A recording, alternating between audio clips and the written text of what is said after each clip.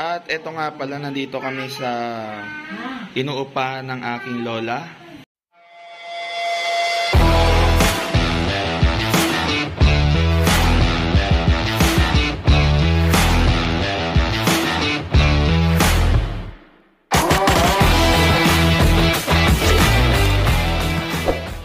Ah, 5 by 4 square meter.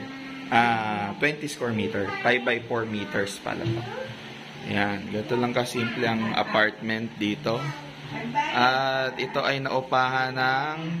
Magkano mami upa rito? 5,000? Oh, 5,000 pesos. 20 square meter.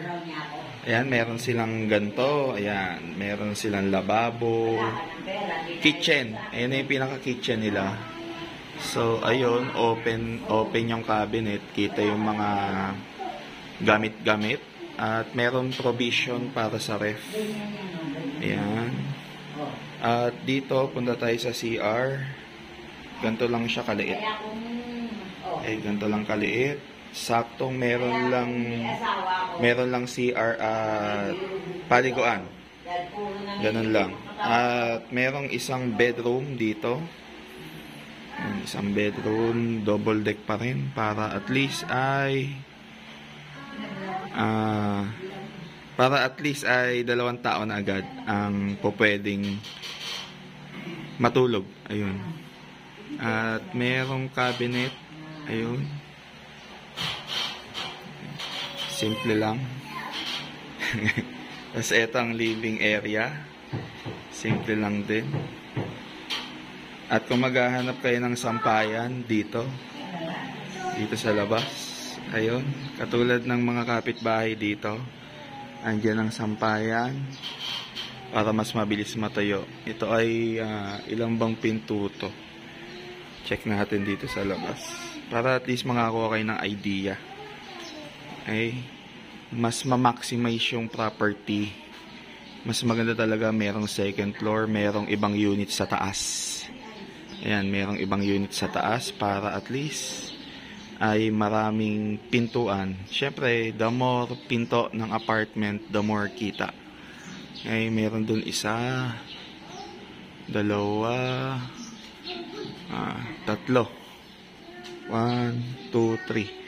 Bali, anim sa isang blocking ganyan. At dito sa isang side, ah, one, two, three. One, two, three. Anim din. Bali, total of ah 12. 12 unit na pintong apartment. So, ganito pala maganda. Okay? Na-maximize nila yung lugar. Good na good. Tapos dito merong space nga naman sa baba para for motorcycle na parking. Eh, yung ah, kotse, nandun sa labas lang, sa gilid lang ng kalsada. Eh, check din natin dito. Tara, check natin. Total eh, nandito lang din naman tayo. Okay. Ang bawat unit, 20 square meter. Bawat unit, 5 by 4. Okay, okay na rin. Ayan, dito to sa kalsada. Dito na tayo sa kalsada. Ayan. Maganda naman. Ayan. Kayo na lang ang mag-compute kung uh, magkano yun sa isang buwan. Balik tayo dito ulit sa akin lola. Tingin ko naman mga tingin ko naman mga ka-budget mila eh, goods na rin yung uh, 5 by 4 square meter. So meron ditong sliding, ayan, sliding window para mas uh, mukhang modern pa rin. At yung pinto nila, ito yata yung tag 3.5 eh. Tagga 3.5. Okay. Ito yung aking lola. Napakasimple. Kumaway ka la, kaway. Like, lagaw na ba? Oh, ayan, yan. Ay. At dito siya nagluluto sa kalan na to. O pwede naman siya ilipat-lipat. Siyempre, after after na magluto, itatabi. Itatabi. Okay. At lagayan ng plato, okay naman. Itong lababo. Ito. Ayan, tingnan natin. Uy, malakas. Malakas yung tubig, oh. oh. Good. Ha? May simpleng rice cooker tayo dito. At may kettle.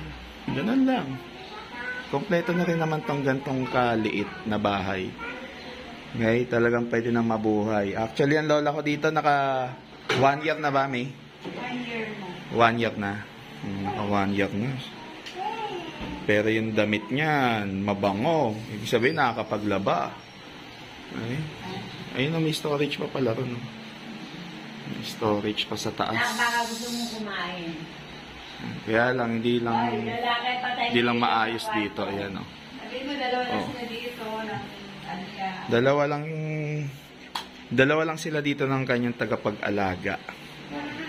Okay. Ganyan lang. Bunot ng bunot. At yun lang, pinakita ko lang sa inyo yung idea ng apartment na to.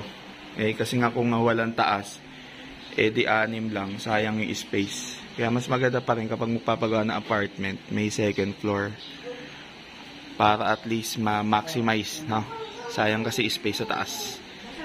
Ayun lang, yun lang. At see you ulit sa next vlog natin. Bye!